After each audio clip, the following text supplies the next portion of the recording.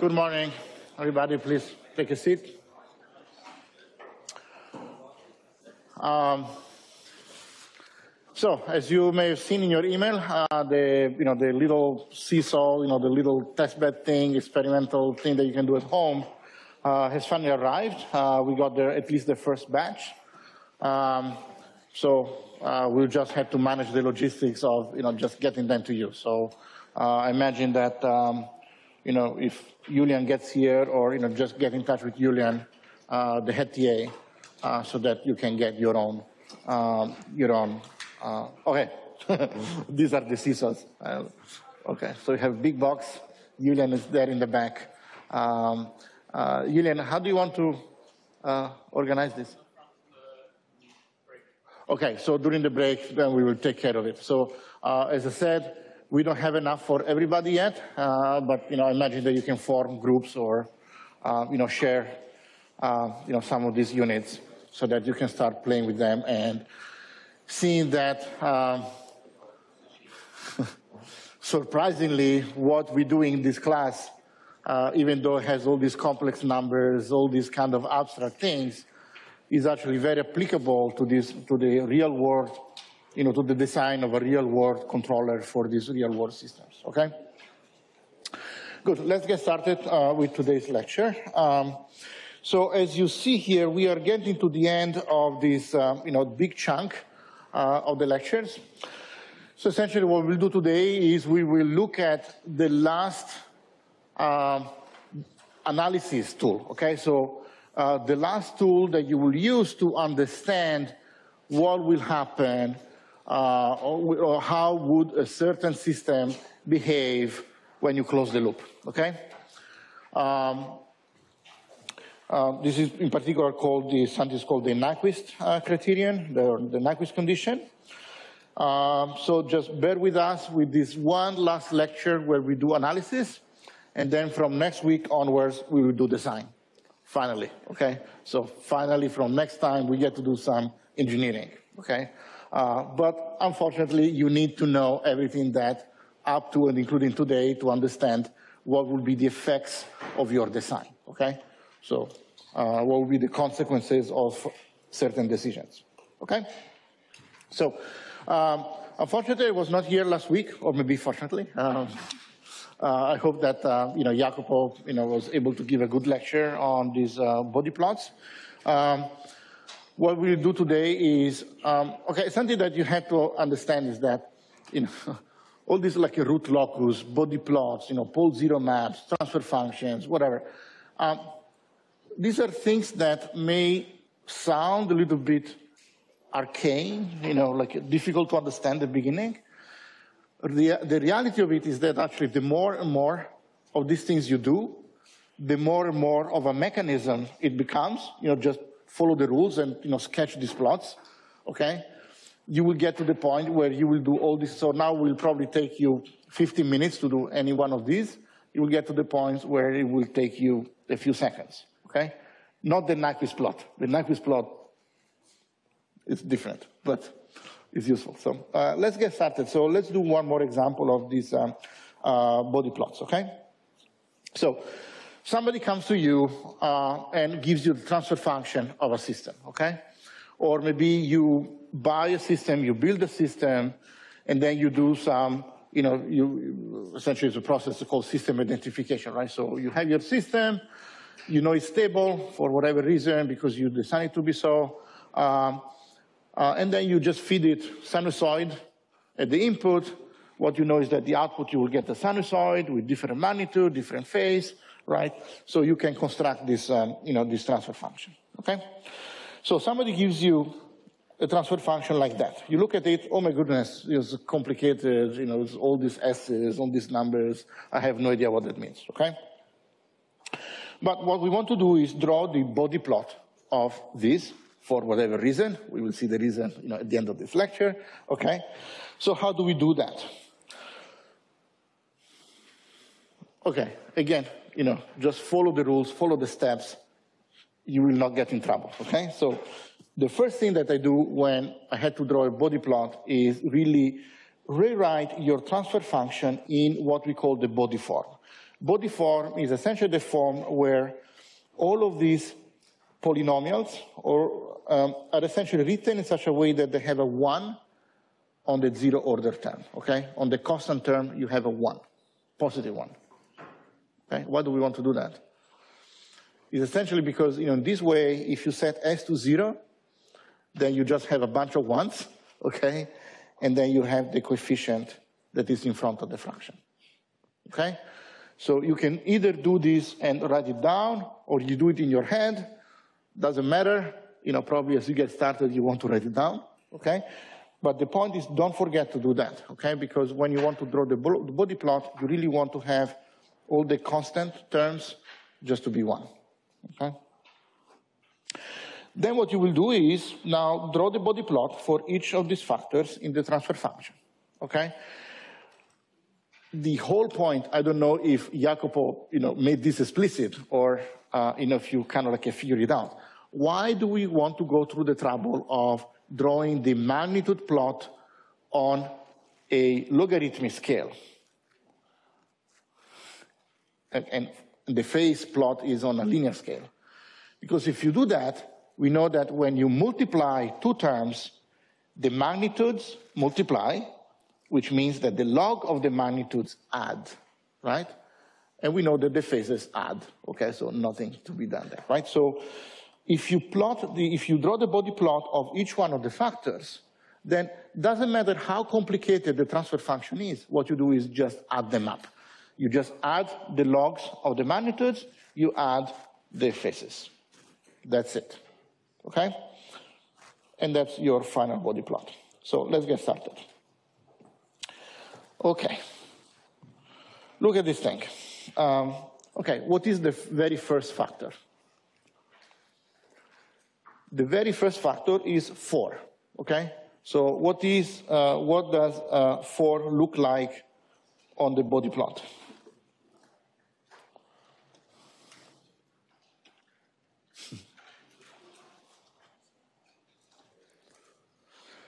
Um, yeah. Will be a straight line, right? And okay, so we know uh, what is the straight line. So okay, I'm really sorry. I apologize for the whole controls community. But somehow somebody many years ago decided that it was a good thing to measure things in decibel. There is absolutely no reason to do that. It's just something that was done, I, you know, from my point of view, it's just to make your life more miserable. Um, but well, that's the way that the community has evolved, okay? Um, if you want to forget completely about decibels and just mark this as, you know, okay, this is just 10 and this is just 20, uh, sorry, uh, 100, this is 1,000, that's also fine, okay? Anyway, for whatever reason, 10, you know, people in controls, when they, when they, say, when they want to say 10, they say 20 dB. Whatever, okay? So anyway, so if 10 is 20 dB, how much is 4? Um, we, on this logarithmic scale, you know, it will be somewhere, you know, around here, okay? So we know that the factor 4, the black factor, is straight line, okay? Uh, how about the phase of 4? The phase of 4 is just 0, right? So we start, you know, the black line is just 0 here. Okay? Let's, let's start with the you know, fun stuff now. what is the uh, Bode plot of the green factor? Just 1 over s, you know, what we call an integrator. When s is equal to uh, 1, okay, uh, sorry, when e e s is equal to j times 1, the frequency is 1, uh, what is the uh, magnitude of that? It's 1 over 1, it's just 1, right? So uh, will be somewhere here. What is the phase of 1 over, um, you know, 1 over s? 1 over j omega, right?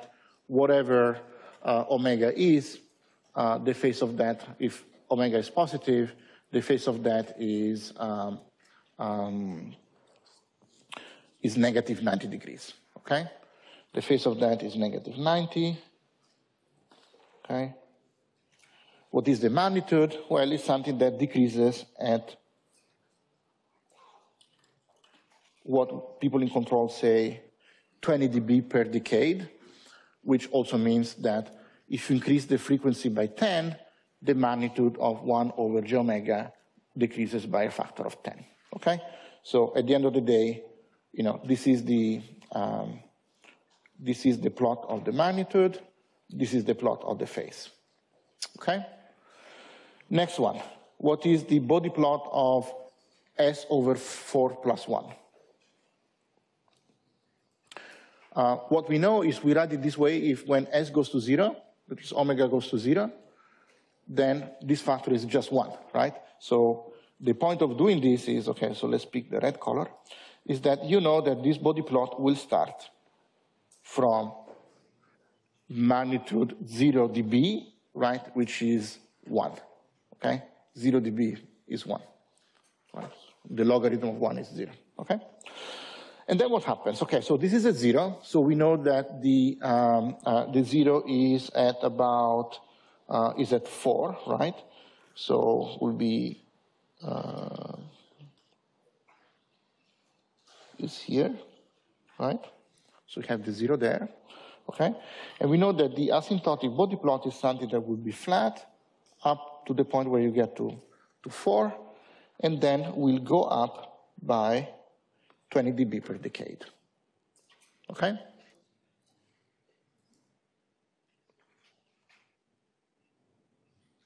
Okay? What happens to the magnitude? We know that the magnitude starts at zero, right? And then at this point will be positive 45, and will eventually go to plus 90, right?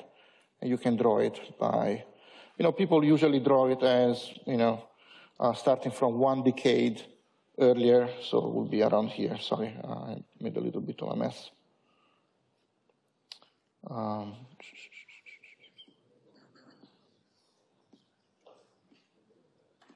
Okay, uh, let's do it again. So at this point will be about 45 degrees, um, and this will start from, uh, one say, say, uh, okay, at low frequencies will be zero, and then one decade before the zero will start going up, and then, you know, will eventually be positive 90. Okay? What is the last factor? The last factor is the blue one. Um, so what are the poles in this case? We know that the, um, you know, the second, so, the, so if you just multiply everything out, the, uh, the natural frequency square will be 100, right? So we know that the natural frequency of these poles will be 10, okay? So what we know is that the, again, this pole will start from zero we had these two poles at 10, right, around here. We have two of them, right? So then the magnitude will remain flat up to the point where we get to these two poles, right? And then it will go down by 20 dB per decade per each pole, for each pole. We have two poles, so this magnitude will go down by 40 dB per decade, okay? A slope of negative two, right? Two uh, you multiply the frequency by 10, the magnitude will decrease by uh, 100. Okay? What, what, what happens to the phase? The phase will be zero up to the point where you have these two poles, right? Will be negative 90 here, and will be negative 180 eventually, okay? So now the, you know, this will be something along the lines of something like that. Okay? Okay? So, how do you add all of these things up? Okay, so let's draw uh, you know, another figure, maybe it's bigger. Um, okay, so essentially you start from, let's say from the left, say, okay? You start from this point. What you know is that, okay, so the black is 4 like 4 dB, uh, sorry, um, is whatever dB corresponds to 4, okay? Um, I think it's about 12, okay? 12 dBs. Um, okay, so essentially you start from, you know, somewhere here. And then as you notice, we have the green line. The black line is a constant, right? The green line is just decreasing, right? So what you have is something that goes like that. Uh, sorry, this should be parallel to the green line, okay? Right, and then at this point, you see that I have the zero, right? So now I have the, the, the red line has a positive 20 dB per decade at this point, right? So that essentially, um, uh, I was going down by 20 dB per decade. Now I had to steer up by 20 dB per decade. So essentially what happens is that the slope becomes flat. Okay? Up to the point where I get to the two poles. And now they uh, essentially have two poles, so I steer down by 20 dB per decade per pole, right? So essentially, this slope now becomes negative, negative 20 dB per decade, okay? So essentially, this is, this is your uh, magnitude Bode plot. What happens to the phase? Uh, okay, so we start from negative 90, okay? Uh, here we start seeing the effect of the zero, right? So we'll go up a little bit. Here we start seeing the effects of the two poles, okay? So actually here, you know, the first pole will make us go flat. Uh, the other pole is actually making us go down at the slope of, uh, you know, uh, of negative one slope in a sense, okay? And uh, the net effect is that, okay, so the zero will allow us to go to, say, plus 90, but I have two poles, which means that, you know, that will make us go to, um, uh, what is it, um, uh, negative. So I have a total of three poles, which will bring us eventually to negative 270 degrees, okay? So then essentially what this will look like is, okay, so at this point I will start decreasing, okay? At this point I will start decreasing even a little bit more and essentially will go to uh, negative 270. Okay? You understand more or less what is, what is happening? Okay, how do you add all these things up? Um, honestly, the way I do it, which is a little bit, you know, one step a little bit further, is, um, you know, I just look at this, okay. Um, I know that for frequency one, I will hit this point, okay? I know that coming from low frequencies, I have this integrator, so I will be coming down, I will be reaching this point, uh, okay, with a slope of negative 20, okay? So I know that, you know, coming from the left, I will be coming down with this direction, okay? Then what I actually do is I mark these things. I know that there is a zero here, and I know that there are two poles here. Okay? So then I just do this. I know that I'm coming from here, aiming at this point. Just go down. As soon as I hit the, you know, the, the frequency where I have the zero, I know that I have to steer left by, by 20 dB per decade, okay? So instead of going straight, what I will do, I will steer left, right? Okay. By 20, I was going down, by 20 dB per decade. Now I steer by positive 20 dB per decade, meaning that I go flat, okay? Then I hit the poles, I steer right by two times 20 dB per decade, and this is what I get, okay? Roughly five seconds, okay? Uh, eventually. Will not happen overnight, but eventually you will be able to sketch this Bode plot very efficiently. I know that I start from negative 90. I know that around the zero, the phase will go a little bit up, right? Because it wants to go to positive 90. Uh, or not, want to give a contribution of positive 90, right? But then I have here, I have these two poles, so then the phase will go down to, to negative 270 degrees. Okay? And that's how you sketch it. Oops, and of course I had a mistake, so sorry. Um, yeah. So I, I, counted one too many. Um, um, yeah, so I should so I, I should go 180 degrees down, um, um, you know, from the, uh, sorry, um, just count, okay? So you have the zero, which gives me positive 90. I have the integrator, which gives me negative 90, and I had two poles that give me another uh, uh, negative 180. So the net is actually negative 180. Sorry about the mistake, okay? Okay? So I can erase this.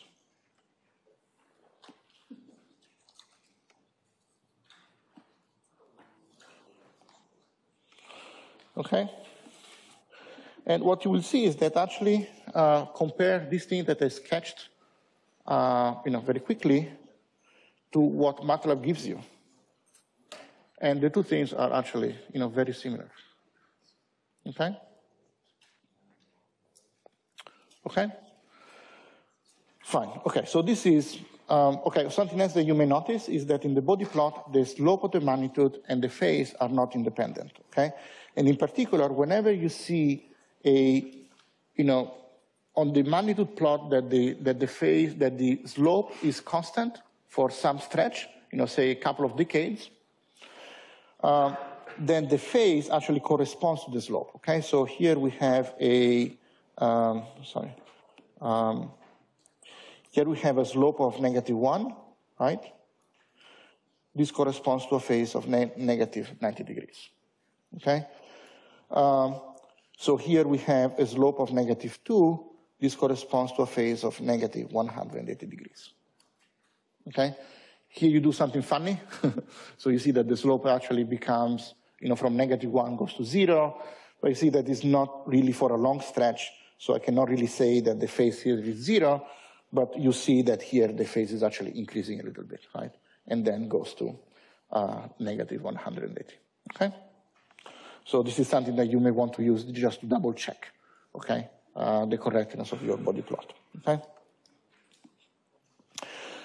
Now, uh, yet another form of, another plot that we can use is something called the polar plot, okay? Now, remember that when we are plotting the frequency response, what we are doing is we are plotting the function uh, uh, g of j omega, right? So omega is a real number, is the frequency, right? g of j omega, and you know this is the complication, g of j omega is a complex number, right? So I can choose uh, to represent it as, as in the Bode plot, I plot the magnitude and the phase, or I can just choose to plot this function as a parametric plot on the complex plane. Okay? For I choose omega, j, g of j omega will be some complex number, and I just plot that complex number on the complex plane. Okay? This is just another way of doing it. And this is exactly what people call the polar plot. Okay? So essentially, polar plot is just plotting g of j omega uh, as a parametric curve on the complex plane. Okay?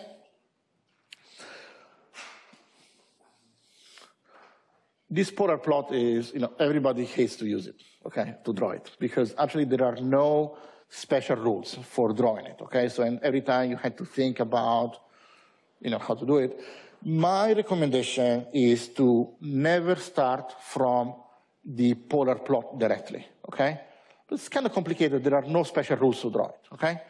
However, what you can do is just plot the Bode plot first. We know how to draw the Bode plot, okay? And the Bode plot and the polar plot are exactly the same thing, just represented in different ways. Okay, so then you look at the Bode plot, you look at the magnitude, what the magnitude does, what the phase does, and then you sketch the polar plot. Okay? Also, something else that is important is as in the root locus, right, so I told you, don't stress too much about the exact shape of the root locus. Same thing here. Don't stress too much about the exact shape of the Nyquist plot. The only thing that matters in the Nyquist plot or the polar plot is where the plot intersects the unit circle, okay? And where the plot intersects the real axis. These are the only things that matter. You know, everything else is just color, okay? Okay? Uh, so let's, let's do it. So we want to draw the polar plot of an integrator, right? So 1 over s. I have absolutely no idea how to do it. Probably if you think, if you spend you know, half an hour thinking about it, so I'm plotting the function 1 over j omega as omega changes. Maybe you can give just a few sample values to omega, and then you will understand what the, what the plot looks like. However, what you can also do is draw the Bode plot for the integrator, right? We know that this is something that has the phase is negative 90 throughout, and the magnitude is, you know, when, as, when the frequency goes to zero, the magnitude goes to infinity. When the frequency goes to infinity, the magnitude goes to zero, right? And this is the shape. So how do you draw this on the complex plane?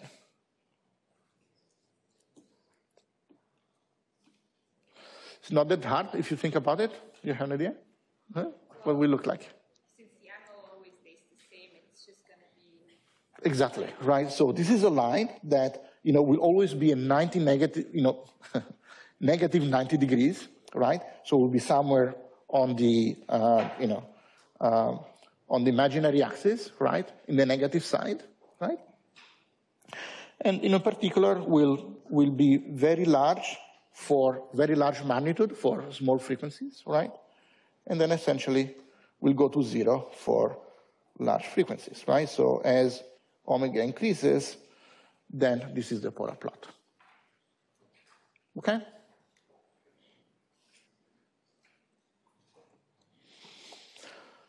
Now let's say that I have a single real stable pole, okay? So now this is the uh, this is the Bode plot, right? And we know that starts with a frequency that with magnitude is about one, and then eventually the magnitude goes to zero, okay? The phase starts at zero, right? And then eventually, you know, it decreases, and then eventually goes to negative 90, okay? So what we know is that Okay, in this particular case, for low frequencies, when omega goes to zero, I start from zero dB, which is one, right? So I start about here, right? And the phase is zero. So I'm on the real axis, right? Then what I know is that, okay, so now the frequency, so for large, for very high frequencies, my magnitude is going to zero, but my phase is going to negative 90. So what does it mean is that I will eventually approach the origin coming from below, right? Coming from negative 90 degrees. Okay? So you can sketch it. The, the polar plot in this case is something like that. Okay? You start, you start here when omega is zero, and then as omega becomes larger and larger, your magnitude decreases, your phase also decreases up to the point where the magnitude goes to zero and the phase goes to negative 90. Okay? You see how I'm constructing this polar plot? Look at the Bode plot and then draw it on the complex plane. Okay?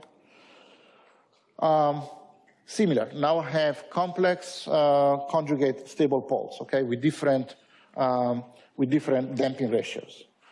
So again, where do we start? When do I start for omega goes to zero?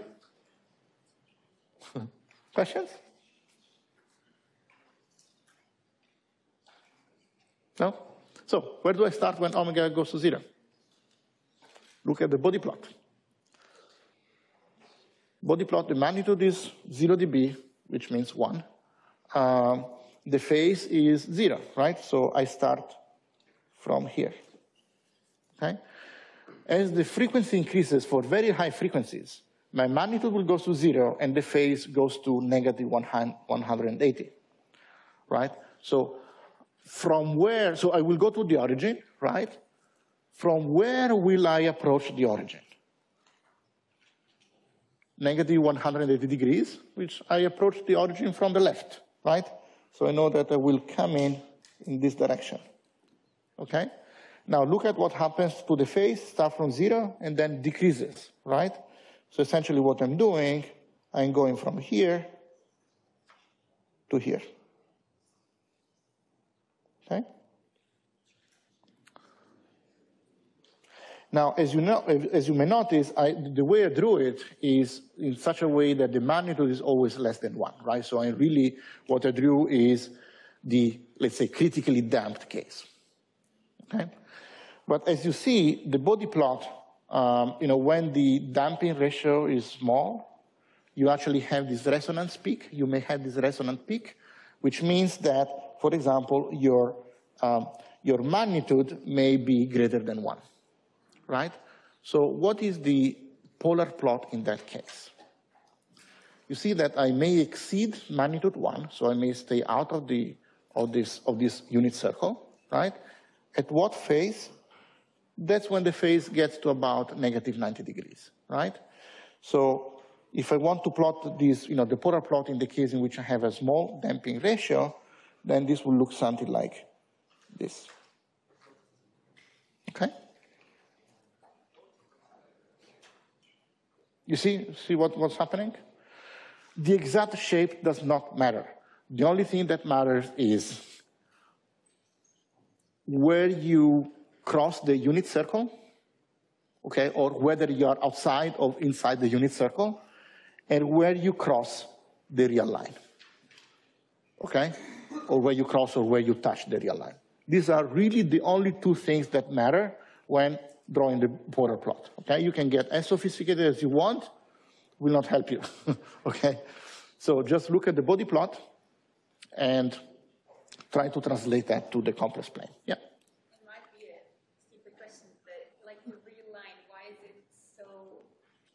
It's coming. Give me, okay, ask me again at the end of the hour. Okay, and you will have your question, your, your answer. Yep.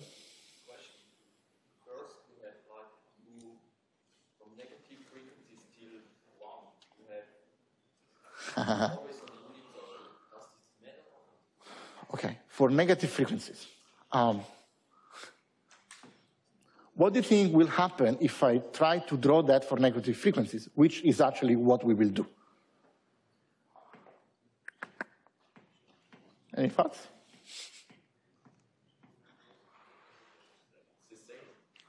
It's the same, but upside down. Okay?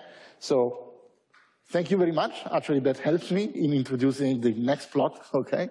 So uh, uh, essentially, the Nyquist plot roughly speaking, is the same thing as the polar plot, but done for frequencies that go from negative infinity to plus infinity, okay? And the Nyquist plot, the way you do it is just take the same thing and just draw, um, you know, just the symmetric, okay? Or, you know, it would be this one, okay? Okay, and then typically what you want to do is also you want to draw little arrows, right? Essentially the arrows gives you uh, the direction in which the polar plot or this Nyquist plot moves as you increase omega. Okay? We will see that the direction is actually important. Okay? Does that answer your question? Okay. So yes, very important. So you want to do it for positive frequencies, but you may want, you also want to do it for negative frequencies. What does it mean to have a negative frequency? Don't ask, okay? You don't, I mean, doesn't matter, okay? Because, uh, uh, you know, does not have any physical meaning, however, makes the math easier and actually gives you a lot of results. Don't, don't think about it and just draw the plot, okay? Good. Um, super. Something more complicated like the one that we did before. Okay, so now what we know is that um, at low frequencies, we are coming from negative 90 degrees and the magnitude will be very large, right? So essentially what we know is that I don't know what's going to happen, but I'm coming in from here, okay? Uh, then what? Uh, what you see is that actually the first effect, okay, so the, the magnitude is kind of monotonically decreasing. Okay, so we're getting closer and closer to the origin. But as you see here, the first effect is that actually the phase increases a little bit, right? Increases a little bit, and then eventually goes to negative 180. Okay, so know that eventually I had to reach the origin from this direction.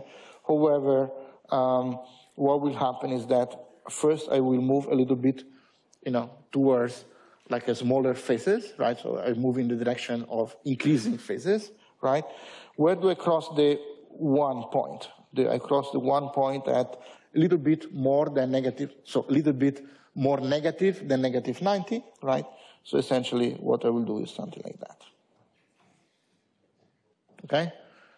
You want to draw the Nyquist plot, uh, you know, just draw the symmetric. Okay? Uh, this is not a complete Nyquist plot because what we want to get on a Nyquist plot is essentially we want to get a closed curve. And here we have the question of, you know, we don't know how to close from this point to this point. Okay, so essentially here I'm getting to infinity. So, you know, essentially, in a sense, um, you know, all of infinity is the same thing, okay? But I can change my phase. So now I don't know if I should close my plot this way or that way. Uh, but this is, we'll see it in, you know, during the next hour, okay? But as you see, you know, this is a very complicated uh, transfer function.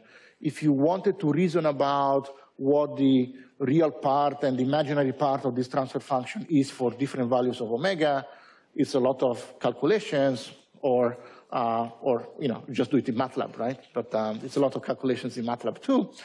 Uh, on the other hand, I don't want to do that because I know how to build the, how to draw the Bode plot quickly, and I can just use the Bode plot to plot the polar plot, and the mirror image gives me the Nyquist plot, okay? Why did you mark this point 10 to the power of 1 and not 10 to the power of 0? Because that would be 1. Okay. Uh, uh, yeah. Um, no, what I was, I told you that, you know, the, you know, one of the, you know, the important things that you will want to get out of the Nyquist plot of the polar plot is when you cross the unit circle, right? The unit circle is the, is all points that have zero, uh, sorry, that have magnitude one. Magnitude one means magnitude zero dB, right? Where do I see the point where I cross the unit circle? These are the points that cross the zero dB line, okay? And what I see is that actually this happens here, okay? So yeah, I, I mean, uh, we can complete this thing and say, so this is for omega roughly 10, I cross the, you know, the, the unit circle, right? But then what I want to know is what is the phase where I actually cross the unit circle, and the phase is a little bit more negative than negative 90 degrees. So that's why I drew it there. Doesn't matter the exact location, okay? But you want to know that you cross this, this, this, this unit circle, right? And then I, you know, essentially I never intersect the real axis. I only go to it asymptotically when omega goes to infinity. Okay? Good. I think that, uh, um, okay. Well, let me just go and go for, for a minute until the, you know, the bell uh, rings. So, okay, so now we know how to do this Bode plot. We know how to draw the polar plot based on the Bode plot. How are we going, going to use it? Why do I need to know where it crosses the real line? Why do I need to know where it crosses the unit circle, so on and so forth? Okay? And, okay, so this Nyquist, there is this Nyquist theorem, or this Nyquist, Nyquist criterion for closed loop stability. Let me tell you the truth, is that everybody, including myself, hates Nyquist, okay? It's just it's a pain in the neck to just draw it, and it's, it's, it's not as easy as the other tools. So root locus, Bode plots, I do it in five seconds. Make mistakes, as you've seen, but you know, here essentially you do it in, in five seconds. Nyquist plot usually takes a little bit more, okay? However, all of the other tools may be misleading or may not be usable in all circumstances. Nyquist is like that friend, you know, this depend, you know, that friend who is very dependable. It's kind of like a jerk, but you know, really, but you know that, you know, when you really need him, uh, you know, he's there for you, okay? Um, and, uh, right, so this is the tool that even though is a little bit more of a pain to use, this is the one that will give you the right answer guaranteed, okay? When in trouble, always double check with Nyquist. Okay? So, it's not nice, but uh, it's, it's, very useful. Okay. Okay, so let's get started. Um, this is not the most fun thing that we do in this class, but let's do it. Okay, so essentially the idea is the following. Um, as you can imagine, uh, if I have, let's say, some function g of s, okay, some function of a complex variable, if I choose s as something that moves along a closed curve on the complex plane, right? So we know that S can, in general is any complex, you know, is a complex number, right? So then I choose a, what is called a contour on the complex plane that is the boundary of a, um, of a bounded, simply connected region, okay, of the complex, complex plane, right? So just, in essentially, it's a closed curve, okay? So you can do all the mathematical definition you want, but uh, essentially just draw a closed curve. Then if I compute g of s for all the s's on this closed curve, what will I get? Well, it's another curve on the complex plane, okay? So this will be another closed curve on the complex plane. Now, something that is not obvious is the following, is that actually I do this thing, I compute this function, I draw this, you know, g of s when s moves on this curve. What happens is that the number of times that this curve goes around the origin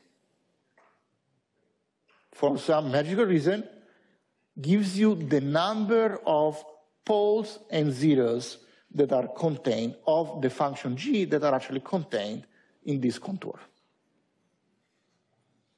It's magic of complex analysis, okay?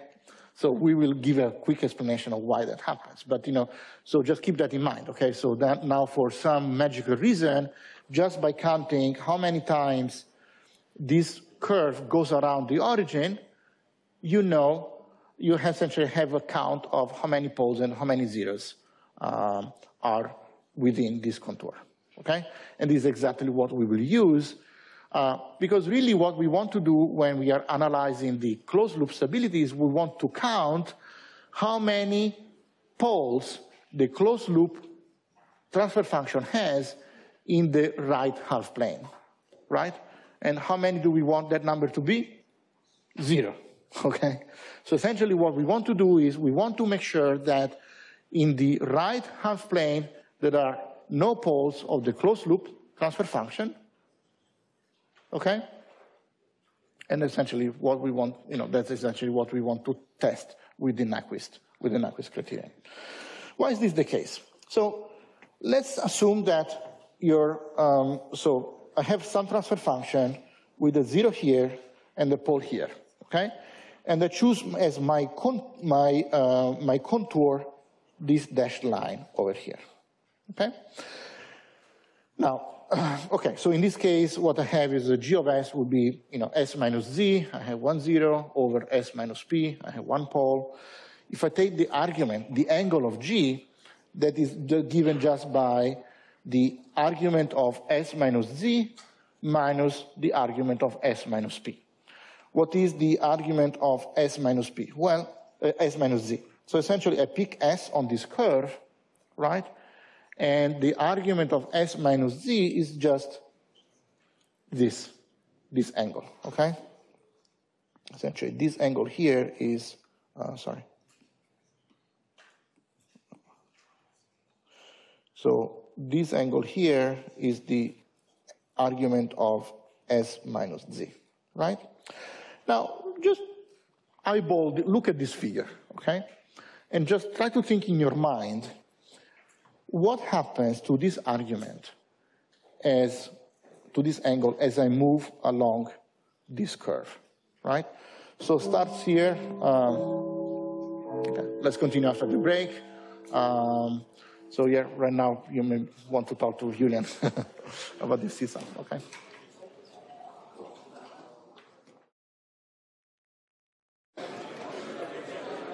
Okay, we will have more uh, of these things, uh, you know, next week and the week after. So they're all being shipped from China, and um, you know, hopefully we have enough for everybody. Okay. Uh, don't forget to get some sleep this weekend. Okay. So I know that you will be so excited about playing with this. Um, well, anyway, I hope that you find it a useful tool to see some of the things that we do in class and how they apply uh, for real. Okay.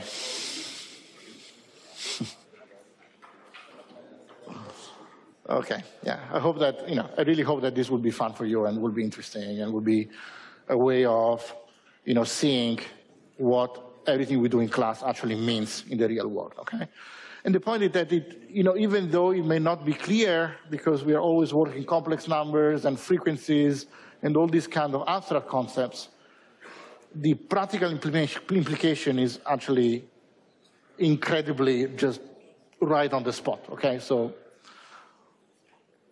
may look like abstract theory is very useful tool for actual design, okay? Anyway, so uh, let's get back to the lecture, right? So uh, again, um, you know, as you move around this, uh, this curve, right, uh, this angle is the, uh, the argument of the numerator, right, of the, of the argument of s minus z, right? What do you think will happen to this argument as I move around this, this curve? Well, I start from here, this is, uh, say, negative 135 degrees, whatever. Then it gets a little bit um, smaller, right? Uh, right? Um, and then it will start increasing, and then eventually we'll go again to negative, to, to, sorry, to positive 135 degrees, roughly, right? But what you see is that, um, you know, if you think of it, if you were to draw uh, this thing is something that, say, starts from, for, um, um, you know, starts at, say, 135, then becomes a little bit smaller, becomes a little bit higher, and then goes back to 135, right? In particular, what you see is that the net, the total variation, the net variation from the beginning to the end of this number is actually zero, right? What happens to the pole? Well, it's kind of the same thing, right? So now I start with, um, you know, um, you know, this number here is actually um, the argument of S minus P, right? And again, this is a number that starts from, say, 45 degrees, becomes a little bit smaller, right? And again, that gets back to 45, 30 degrees, whatever the number is, okay? Uh, in both cases, what you see is that, um, right, this is also something like that, right? Uh. So this is just something like that, okay? And again, what you see is that the total variation of the argument of s minus p is again zero, right? Becomes a little bit smaller, becomes a little bit larger, but then goes back to exactly the same value, okay? Uh, and, you know, this is a particular case in which, as you see, there is no, even though the transfer function has both poles and zeros, none of the poles or zeros are contained within this contour. What changes if I actually now draw my contour around one of those, around the zero, for example, okay? Uh, again, look at what happens to, uh, to this angle here, okay? So this is the argument of s minus z. What you see is that I start from here, you see, say, you know, 90 degrees, right? And then as I move along this curve, this will become zero, we'll go to negative 90, right?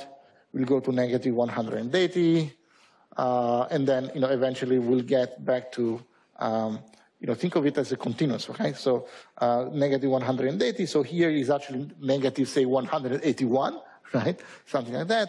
So by the time that I get here, you will see that the, that argument has actually done, gone through 360 degrees, right? Has gone through 2 pi in the negative direction, right? So as I go around this curve, what you see is that this argument, this component, actually changes by 360 degrees. Okay? So, and in particular, what you have done is you have essentially completed the circle. So if, um, if you were to compute g of, uh, you know, g of s as I go through this contour, this function, since its argument goes from plus 90 to negative 270, it actually has done, completed the whole loop around the origin. Okay? Um, right? And you know, this loop around the origin uh, will be a loop that is done in the um, uh, in, in, the positive direction, right? Um, and it's because they have this zero inside inside the uh, transfer function, inside the, the contour. Sorry. What is the effect of this pole? Well, the effect of this pole is okay. You start from say 10 degrees uh, as you move around the contour will become, say, negative 10 degrees and then goes up again to positive 10 degrees. So again, the total variation due to this pole is zero. Okay? Same thing for if I put this contour around the pole. The total variation from the zero, okay, we start from, say, minus 170 degrees, will go a little bit more negative, then it will become, we'll go back to negative 170 degrees.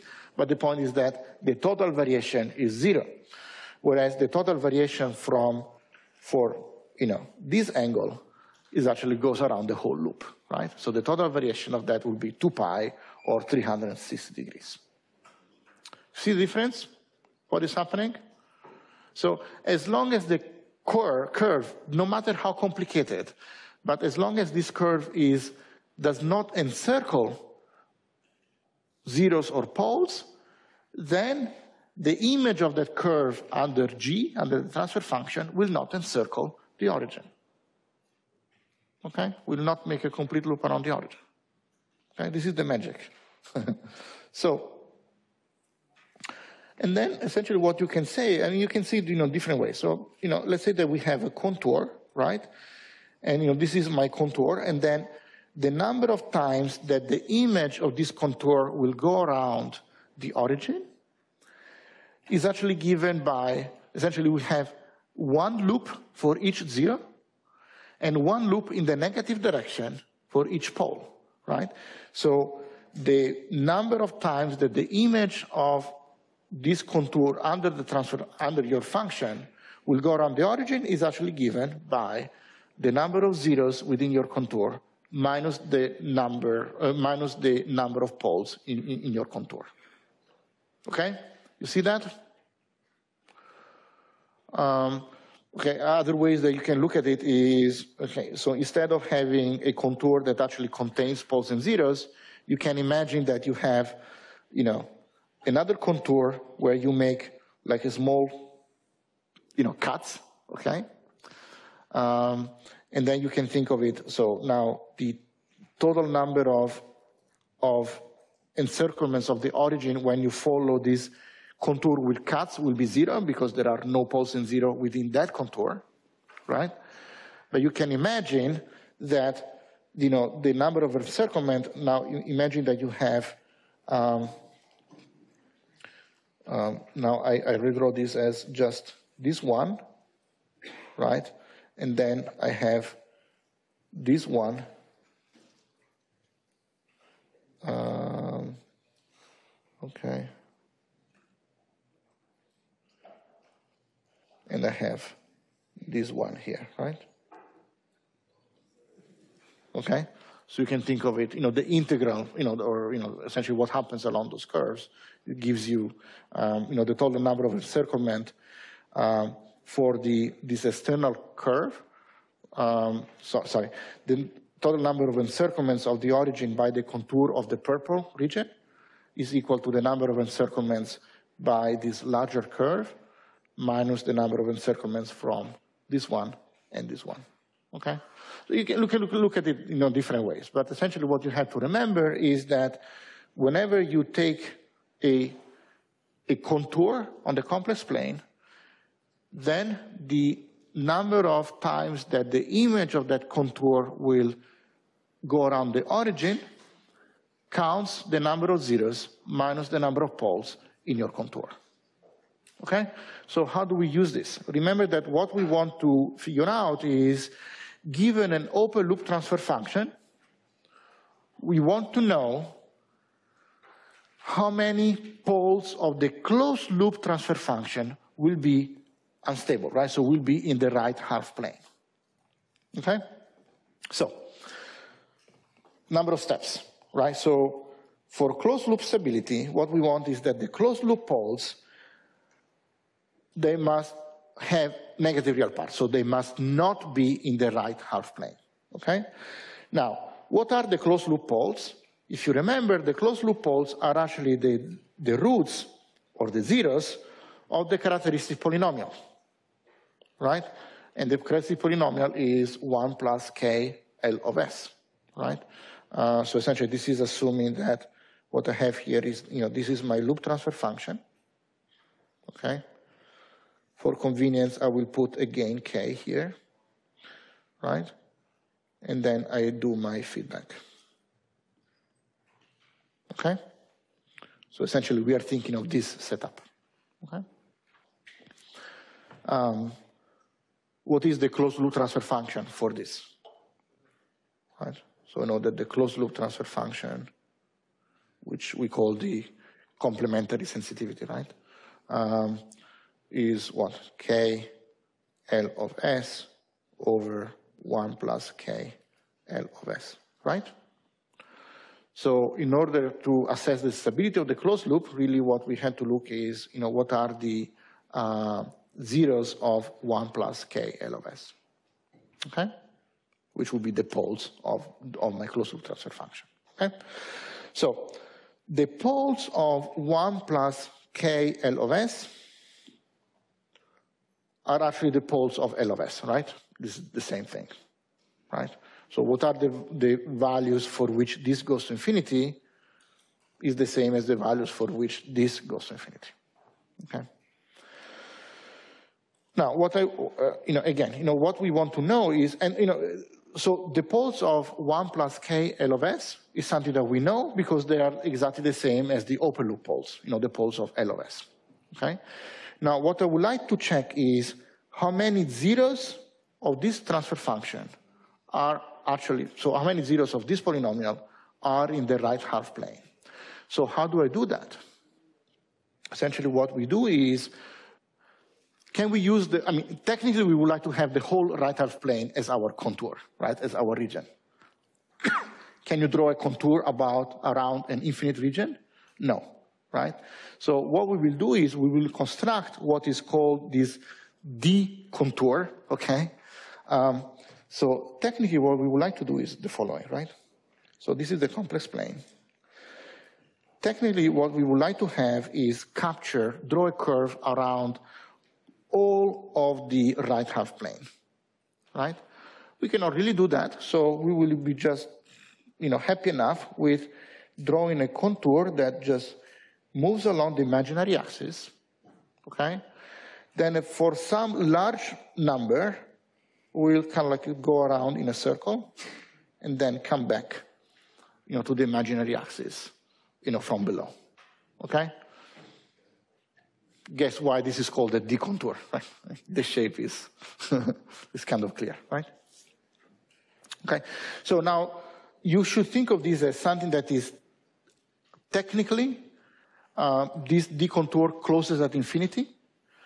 Of course, we cannot draw a curve at infinity, but then think of it as just make this radius a large a number that is finite, but is so large that it doesn't matter, okay?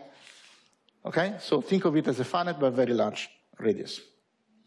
Okay, so then what we know from what we've done so far is that as I move S along this contour, right, then the plot of 1 plus k L of S, which again, this will be a polar plot, okay, and in particular, since I'm moving S from negative frequencies side, this will actually be that Nyquist plot, okay? This is both the polar plot and it's symmetric, okay?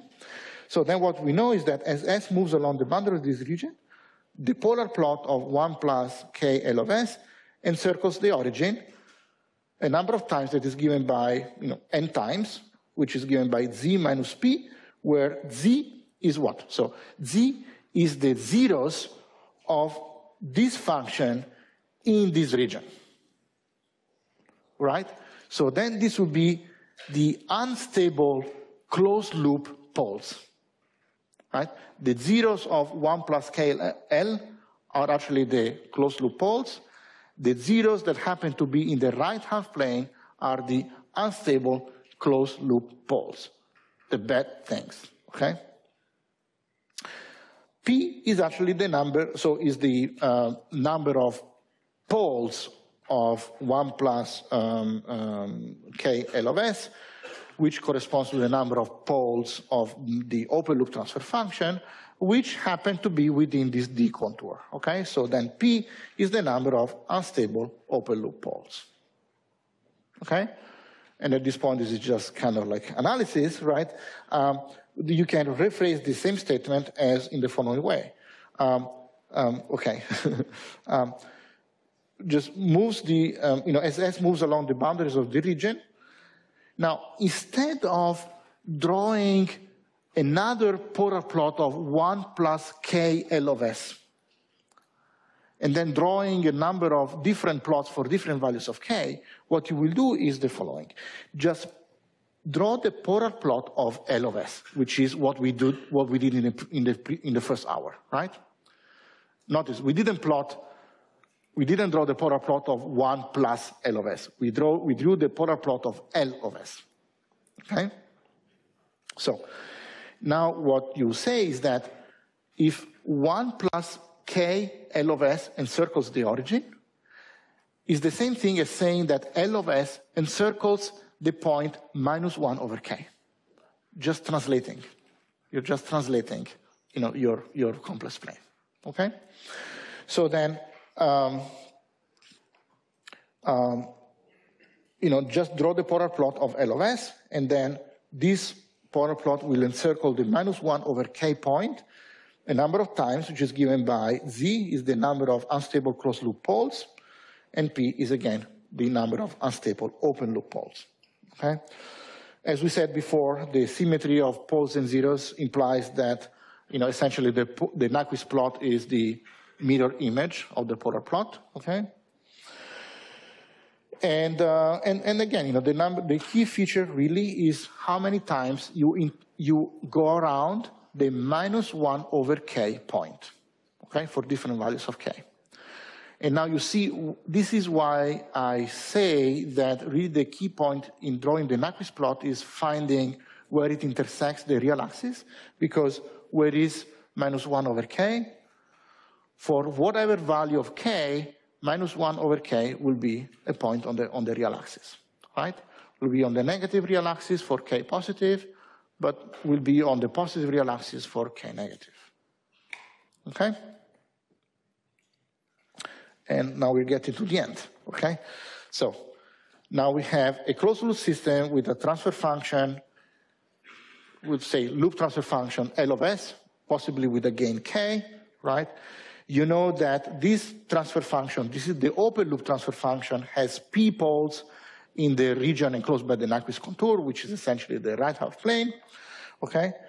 Then what you know, N is the net number of clockwise encirclements of minus 1 over k, okay, uh, as, as moves along this Nyquist contour in the uh, clockwise direction, okay? So then the closed loop system has z poles in the Nyquist contour that is in the right half plane where z is given by n plus p. Okay, so n is the number of encirclements, p is the number of open loop unstable poles, right? In particular, if the open loop system is stable, meaning that P is zero, then in order for uh, your closed loop system to be stable, you want your Nyquist plot never to encircle the negative 1 over k point. Okay? We will look at these conditions. We'll do some examples. Okay? If, on the other hand, the open loop system has p unstable poles, then in order to have z equal to zero, what you want to have is n equal to negative p. What does it mean to have n is equal negative p? What you need to have is um, you know, a number of encirclements of the of negative encirclements that is equal to the number of uh, open loop poles, uh, open loop unstable poles. What is a negative encirclement? Is an encirclement that happens in the opposite direction with respect to the direction which you're following the d contour. So if you're following the d contour in the clockwise direction, a negative encirclement is an encirclement of the negative 1 over k point, which happens in the clock, counterclockwise direction. Complicated, sounds worse than it is. Let's look at you know, some examples, okay? Okay, so this is the Nyquist condition for a single real stable pole, okay? So now what we have is L of S is given by 2 over S plus 1. Um, this is the, um, you know, this is the, um, you know, uh, what we have here is just the pole zero map, right? So we just have, um, you know, um, you know, this pole here what does the, um, what does the Nyquist plot of this system look like? So what we want to draw, I mean, we did it before, right? So it's a little bit different. So for omega goes to zero, this is two, right? So we are starting from, um, from two, right? And phase is zero. What I know is that the magnitude will go to zero for large magnitude, and the phase will go to negative 90, right? So what I know is that, um, uh, sorry. What we know is that the polar plot will look something like that, and then if I close, um, you know, if I do the mirror image for negative frequencies, what I get is this, okay? Now, you know, we can think of different location for the negative 1 over k point. Now, uh, let's say the k is equal to 1, okay? Um, so if k is equal to 1, then the negative 1 over k is here, right? Yeah. Uh, could you explain again how you got to the part before? Which one? The circle? This is the same thing that we did before for the polar plot of uh, 1 over s plus p, right? Um, uh, yeah, you can draw, I mean, you can, you know, what does the Bode plot of this look like? Let's do it. So a few seconds, right? So the Bode plot is, um, is essentially starts from 2, right? And then when the frequency gets to 1, goes down by 20 dB per decade, okay? So this is the magnitude uh, what happens to the phase. Start, we know that it starts from zero, then, then the frequency gets to one, uh, is negative 45, and then eventually goes to negative 90 degrees, right? Okay, so now we have something that starts from two with a phase of zero, right? Which is two, the number two, the real number two, okay? And then I know that we'll go to magnitude zero, we'll go to the origin, but coming to the origin from a phase of negative 90 degrees. Okay? Now, you know, again, you know, so, so here the, the important thing is the exact shape of this, of this curve doesn't really matter. The only thing that matters is that the, essentially, the phase is zero here, right? So we are crossing the, the real line here, and then we are approaching the real line here.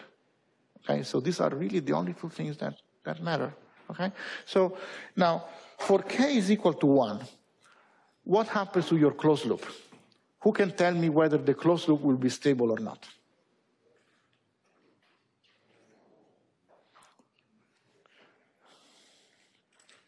Remember that, um, you know, the number of closed loop unstable poles is given by n plus p, okay?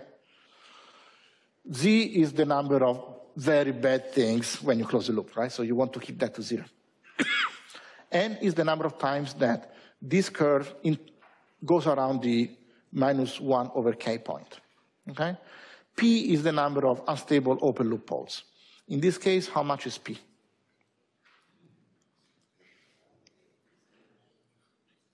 Anybody? how many unstable open loop poles do we have? Come on. one? Why? Now we have, we have one pole, but you see that the pole is stable, right? So, um, um, so you only have one stable pole, meaning that you have no unstable poles, right? So P is actually zero in this case. Uh, somebody else raise their hands? No? Okay. Okay? So P in this case is zero. Okay? Now, how many times do I encircle the minus 1 over k point, where minus 1 over k is here, right? If I choose k is equal to 1. So how many times does this curve go around this point here? Anybody? zero, right? So in this case, what we know is that, so p is zero, this curve goes around the, neg the negative 1.0 times. So for k is equal to 1, the closed loop system will be stable. Right? Now, what if I choose, what if I tell you that the k now is some other number, which is positive, right? Minus 1 over k, let's say somewhere here. What can you say? For what values of positive k will my closed loop be stable?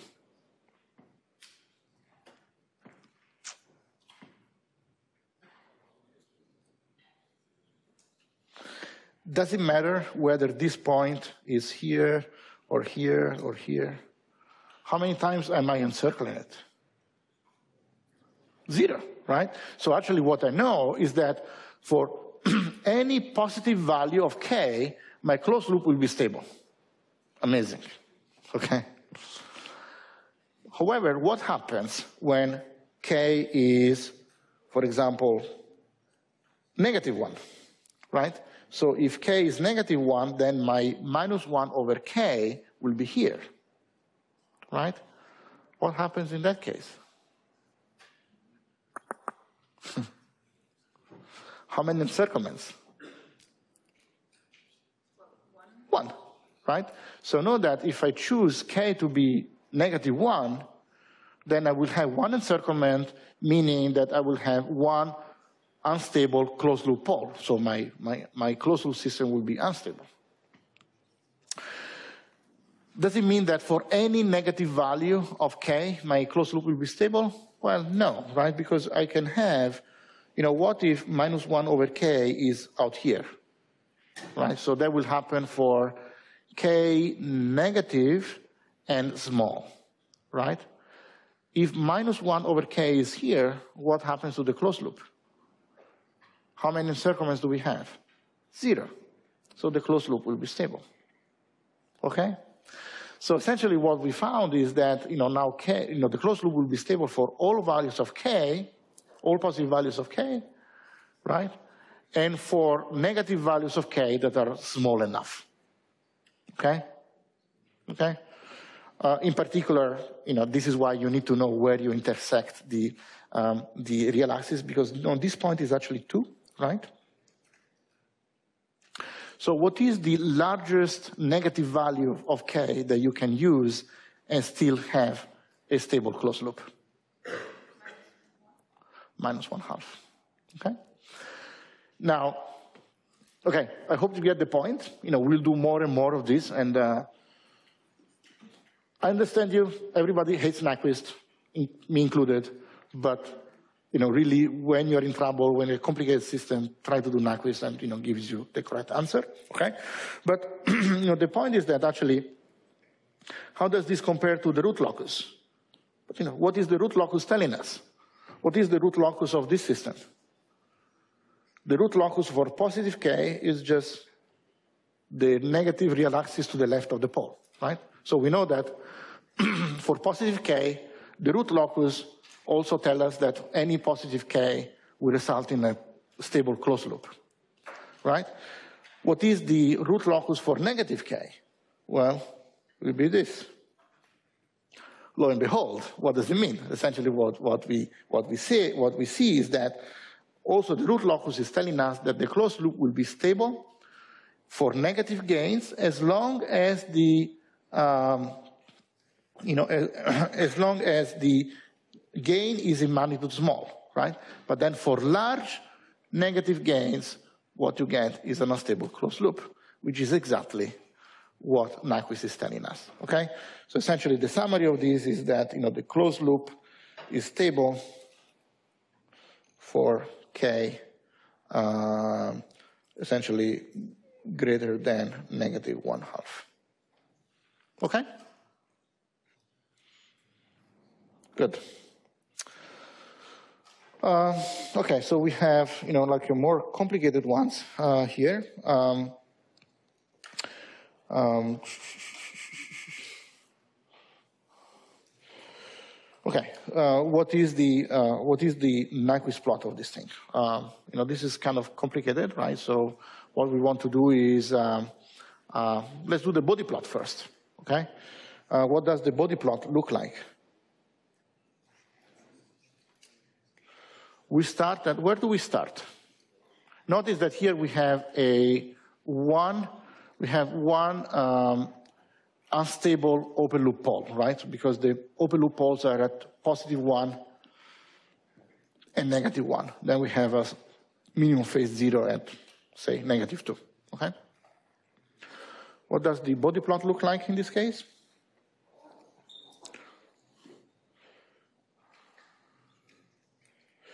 So what we have is, okay, so we have two poles at one, right? But one of the poles is stable, the other one is unstable, right? So what will happen is, okay, so the magnitude will go up to here. So we have two poles, right? And then we have a zero here at two. So the magnitude will go down by 2 dB per decade around here. Then we'll kind of like flatten out to negative 1 dB per decade, you know, after we get to the zero, right? What happens to the frequency? Uh, so this is the magnitude. What happens to the phase? Um, okay, will be zero. Uh, sorry. Uh, okay, so this is why you had to always put these things in this uh, Bode form, right? Because, uh, and you know, which is actually almost not the case. So let's write it as minus one half, minus two, say, times s over 2 plus 1, and then minus s squared plus 1. Uh, the reason why I'm writing it this way is that you see that the Bode gain is actually negative 2, right? So what we know is that for very low frequencies, actually my uh, Bode plot is starting from negative, uh, well, in this case, is starting from negative 2, right? Okay? Good. So our, you know, um, okay, so we are starting from, um, from say, you know, negative 180 degrees. What happens to the phase? Um, you know, I encountered these two poles, right? But one pole is stable, the other pole is unstable, uh, so they actually cancel each other, okay? Uh, because the uh, unstable pole will bring the phase down by 90 degrees, this, the unstable pole will bring it up by 90 degrees. So essentially they cancel, right? Uh, and then what we have is just the zero, and the phase will increase by 90 degrees, okay? So the Bode plot in this case, actually, the polar plot in this case is starting from here, from negative 2 for very low frequencies, right? And then it's going to the origin, but coming to the origin from, um, um, what is it? Um, from essentially negative uh, 90 degrees, okay? So is going this way, and then we have the, the mirror image is something like that, okay?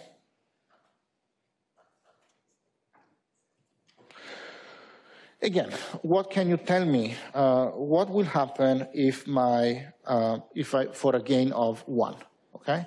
So the minus one over k point will be here. So uh, I know that z is equal to n plus p. p in this case is how many? Is how much? How many open loop unstable poles? So p is 1, right? So, okay. How many encirclements do we, do we have if k is equal to 1? That is my minus 1 over k is here. How many encirclements? How many times does my Nyquist plot go around this point? Look at it. It's no math. It's minus one, right? So you do go around this point once, and you do that in the negative direction. You do it counterclockwise. Okay? So then, for k is equal to 1, what can you say about the uh, stability of the closed loop system? So n is negative 1 plus 1. I get 0. The total number of unstable closed loop poles is 0. Amazing. Okay. What, we, what happens if I actually use, if my minus 1 over k point is over here? That, that happens for a very small value of k, right? If my minus 1 over k point will be here, what can you say about how many times do I encircle the negative 1 over k point? Zero. So what does it mean for the closed loop system? The closed loop system, so n will be zero, but I still have one unstable closed loop pole. Okay? What happens for negative gains? Number of encirclements is zero, right? So again, what we found is that, um, and you know, by the way, what is this number? Essentially what we want is that for k larger, you know, for k sufficiently large, actually I know that my closed loop system will be stable. How much is sufficiently large?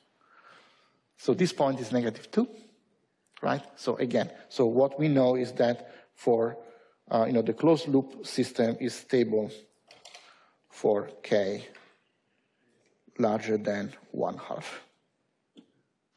Okay?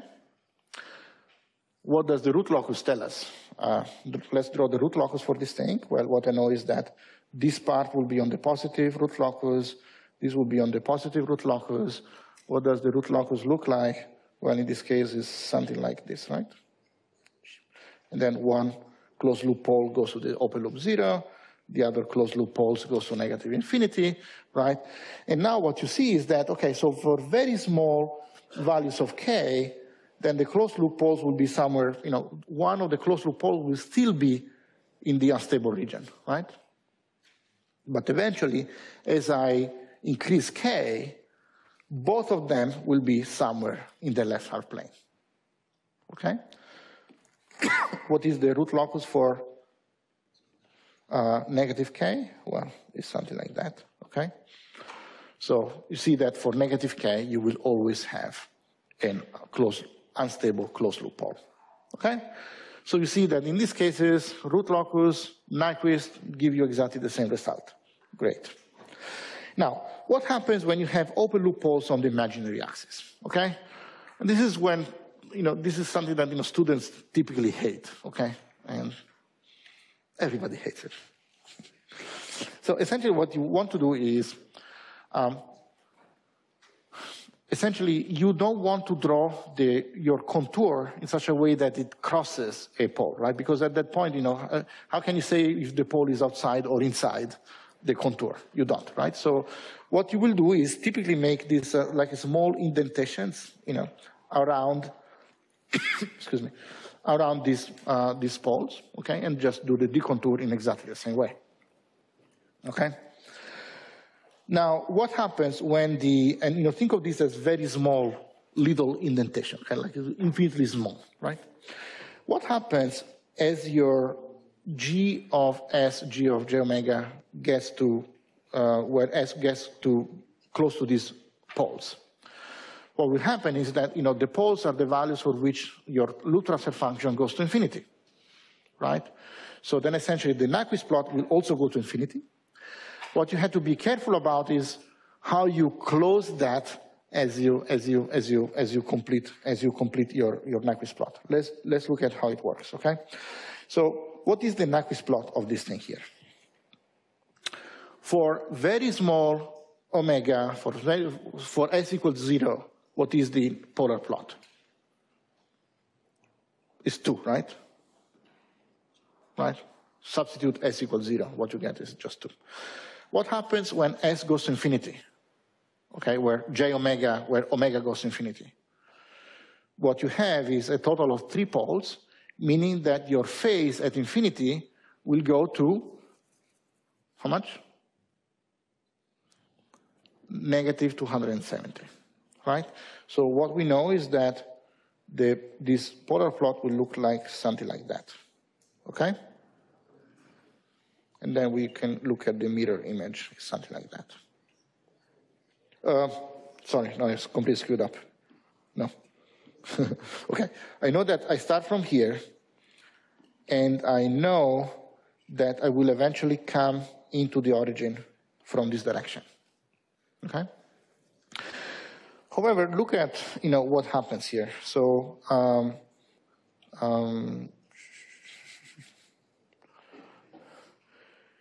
as I'm moving my my point along this direction, what you see at some point, I'm getting close to this pole, meaning that the magnitude of my response will go to infinity. Right? Okay? And um, yeah, in this particular case, what would be the magnitude of my of my um, um, uh, frequency response? Uh, sorry, the phase of my frequency response. At this point, how much is it?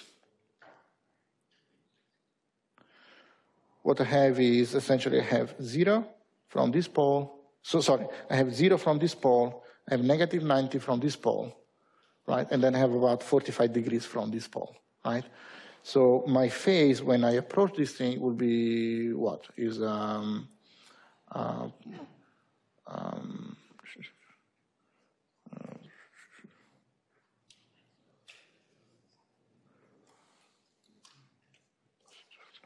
sorry, so it's positive 90, positive 90 from this, negative 90 from this, which cancel out and then I have 45 degrees from this, right? So my uh, magnitude at that point would be uh, essentially for negative 45 degrees, right?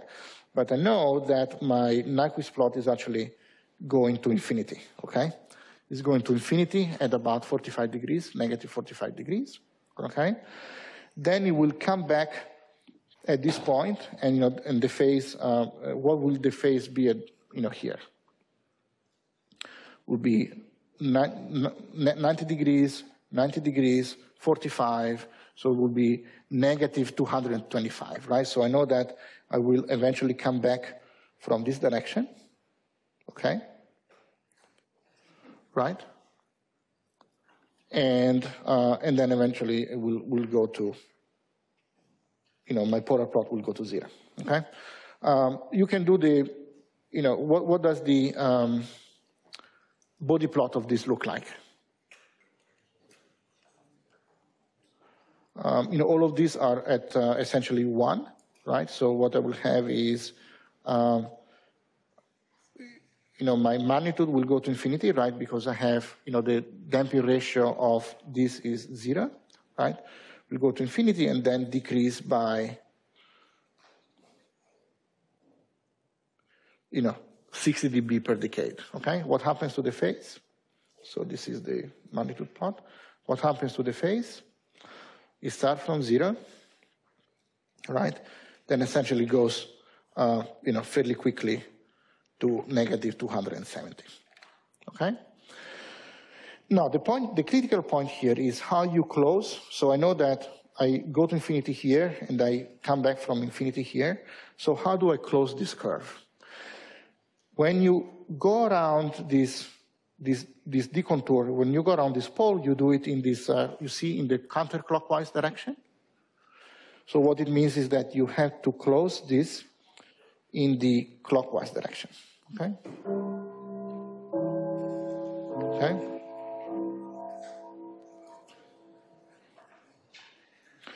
So just answer, so if, uh, if, uh, if k was equal to 1, how many encirclements do I have?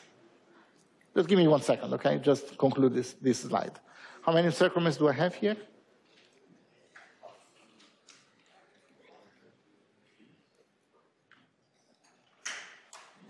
How many times do I go around this thing?